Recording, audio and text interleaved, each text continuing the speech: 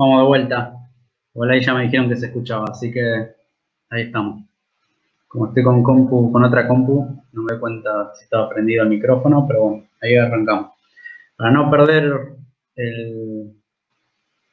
la continuidad, igual ya de a poco ya eh, Ángela y algunos más nos vamos a ir sumando a las visitas a, a las diferentes huertas de ustedes, así le, ponemos otra impronta, aprovechando que ya todavía seguimos en pandemia, pero bueno, eh, con el proceso de vacunación y ya la, circulación del virus un poco más controlada, ya, ya podemos empezar a, recorrer al aire libre en diferentes lugares. Eh, bueno, aprovechando también que empieza el clima también más lindo. Ya empezamos un nuevo ciclo de, las variedades, de las especies hortícolas que llamamos así de primavera-verano. Algunas de ustedes ya, ya va a ser su segundo, su segundo ciclo de primavera-verano con nosotros. Calculo que la mayoría que empezamos con pandemia, empezamos con en invierno. Eh, pero bueno, vamos a aprovechar a, ya que tenemos muchas de las clases eh, guardadas y mucho material subido al Facebook, retomar y aprovechen para retomar algunos videos de, lo que era la planificación de, la huerta, eh, que ahora nada, todo va a ser mucho más rápido por las temperaturas y también podemos destinar un poco más de tiempo de, trabajo en la huerta porque el clima también es más agradable. Tengan en cuenta todas las consideraciones que nosotros planteamos en el diseño de la huerta, todo el tema de, la luz solar, eh, el que planteábamos en esa clase. Ahora vamos a tener más horas de luz. Fíjense bien, eh, en esa va a empezar a aumentar la, cantidad de, horas luz eh, y también dónde da en su, huerta la mayor cantidad de, sol para algunas especies que la van a necesitar. Eh, ahora con la primavera-verano el tema del riego sí va, a tener otra importancia, así que recordar el tema de dónde tenemos la fuente de agua, eh, si tenemos una canilla o, o, algún tanque cerca para almacenar agua y que sea más fácil regar, porque eh, ya eso va a ser una complicación cuando sea verano, eh, más si aumentan las temperaturas y, las lluvias tampoco eh, son tan abundantes, hay, que, hay que tenerlo presente esas cuestiones. ¿Qué más? Bueno, esas dos cositas creo que son las más importantes. al igual que hicimos con las especies de otoño-invierno, vamos a empezar a ir repartiendo de a poco eh, semillas eh, en varias tandas, como hicimos la otra vez, y vamos a entregar como una hojita con algunas características eh, de, así, de las características que necesita para crecer esa planta, o sea, dónde trasplantarla, cantidad de tiempo para cosechar, si necesita sol, el tema del riego, bueno, las características de, crecimiento de la planta. También para repasar dónde podíamos sembrar, eh, recuerden que eh, algunas especies las vamos a hacer primero en almácigo y otras las vamos a hacer eh, directamente de siembra directa en la tierra. Las que son lechuga, rúcula, las de hojas, también recuerden que eh, las que tienen canteros, macetas, eh, ideal sembrar ahí. Ahora nosotros vamos a estar entregando, si mal no recuerdo, acá tengo el machete, perejil, berenjena, una flor y las lupas, que son las esponjas vegetales que estuvo hablando Lorena la otra vez. Entonces, todo lo que sea hoja se puede sembrar fácil en maceta eh, o en forma directa en, surco, en tierra. Eh, y también lo que se viene próximamente, ah, como entregamos berenjena, tomate, a futuro vamos a entregar tomate, pimientos, eh, o ustedes tienen semillas o quieren conseguir semillas de tomate, pimiento, berenjena, eh, maíz, poroto. Esas plantas, bueno, tomate, berenjena, pimiento se hace al eh, se puede hacer tanto como en una bandeja como en vasitos y después se va a trasplantar en septiembre, octubre más o menos, a los 30 días, eso también se lo anotamos, en octubre estaríamos eh, sembrando esas esos ya plantitas, por ejemplo de berenjena.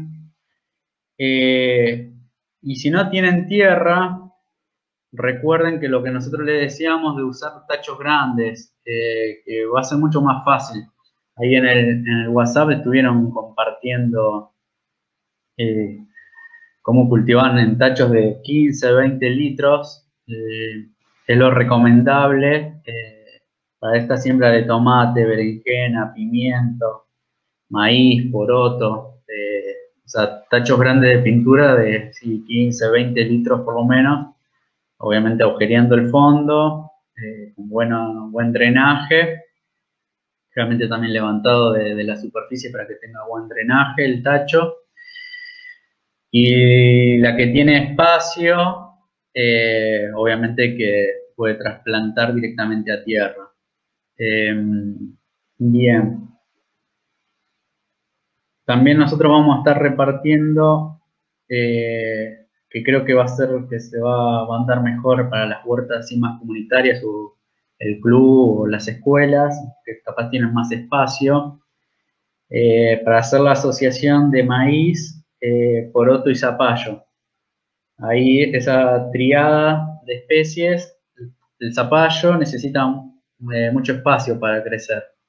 El zapallo es rastrero, bueno, el maíz va a crecer eh, como una estaca paradito, y el, el, poroto que lo sembramos al lado del maíz eh, se va a enredar en el maíz, lo, va a usar como tutor.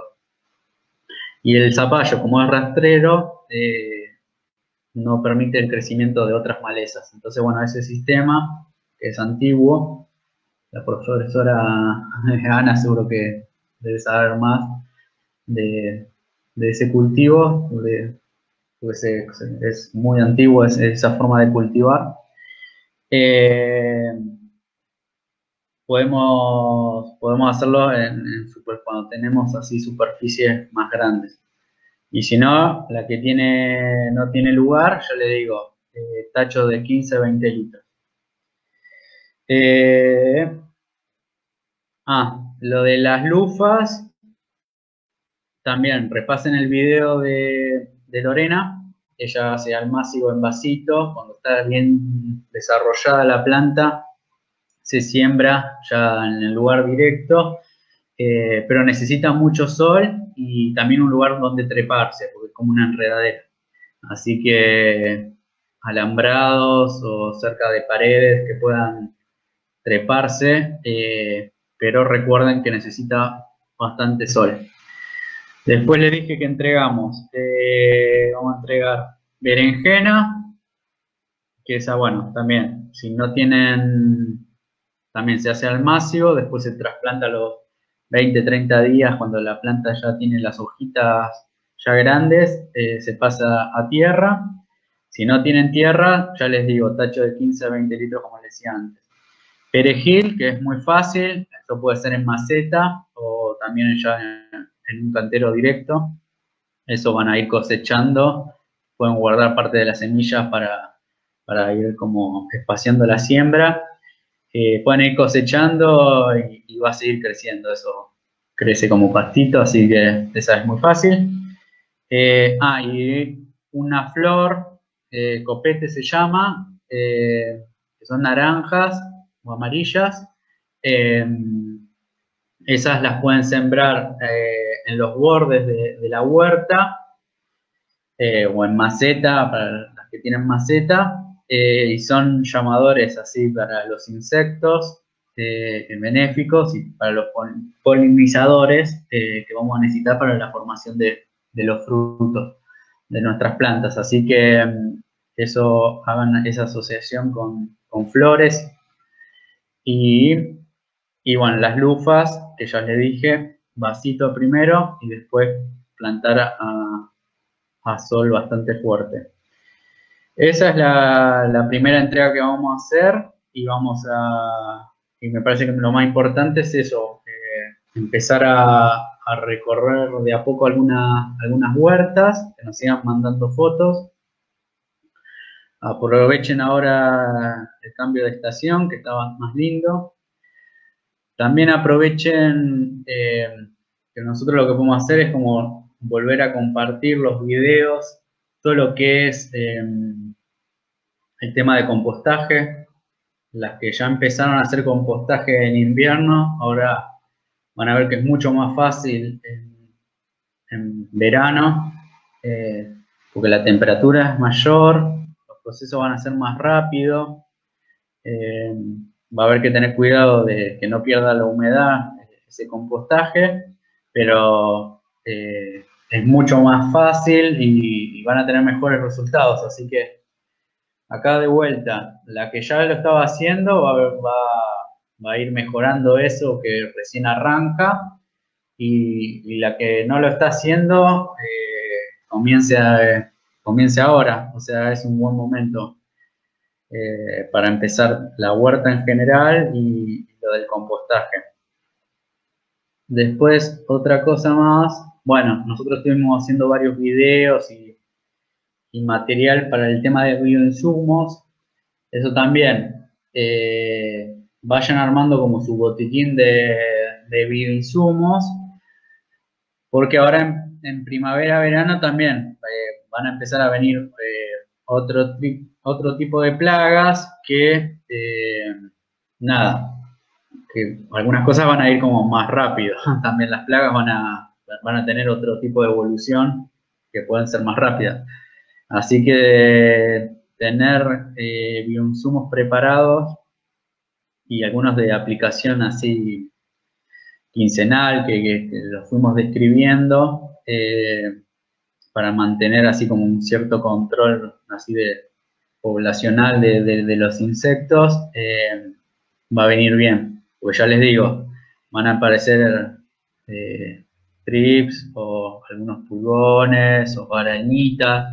Eso va a depender mucho también de, las temperaturas, si está muy seco, van a empezar a aparecer ciertas plagas, eh, que obviamente que si son algunos bichitos no pasa nada, pero bueno, si a, molestar mucho en toda la huerta va a haber que ir como controlándolos. Así que eh, ir haciendo ese seguimiento, ese, monitoreo, mirando las plantas, porque son cosas que van a, van a ir pasando.